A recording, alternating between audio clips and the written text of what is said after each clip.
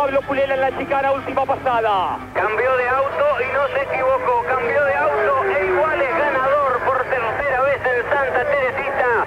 Lalo Ramos, el de Mechongué, va a la victoria. Las banderas de Ford que se agitan. Gana Lalo en el triángulo del Toyo. Avión de campeones en el aire, avión de Sancor Seguros. Sancor Seguros, 50 años de seguridad. Aquí vamos con el puntero y aquí vamos a saludar al público. Le vamos a dar las gracias al público del turismo carretera porque esta vez demostró que sabe comportarse como tal, que sabe comportarse como para que podamos ver una carrera completa. Gracias, gracias a la verdadera estrella del automovilismo, a este público para el que no hay frío, ni lluvia, ni sol, a este público que sigue la categoría. Y aquí van a los Ramos, justamente punteando en la primera prueba de la categoría, en la primera fecha del 97. Por un momento vos, Jorge Luis. Vamos, pasamos por la chicana, Mauricio Mancilla, todo normal.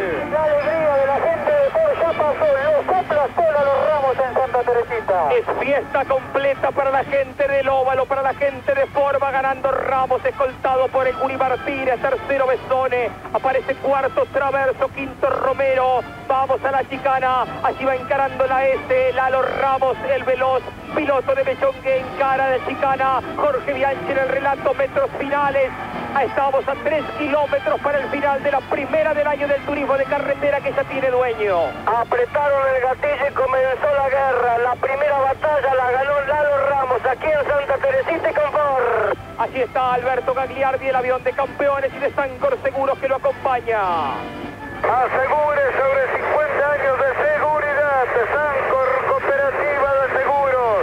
Y nos imaginamos la alegría de don Enrique García, de Picho, de Merlino, de todos nuestros amigos de Vicente López. Aquí está Eduardo Lalo Ramos. Aquí se está llevando la primer carrera. Allí está en el tramo que corresponde a General Lavalle. El saludo para Boicochea, el intendente. Aquí se está acercando Eduardo Lalo Ramos. Va a entrar en zona del partido de la costa. Aquí seguro que lo está esperando Guillermo Magadán. Aquí tenés el final. El final para vos, Jorge Luis Leñani. Va al frenaje, son cientos de banderas de Ford, que digo cientos, miles las que se alzan para saludar. La llegada del Falcon número 6 a la victoria va Lalo, va a ganar Lalo Ramos,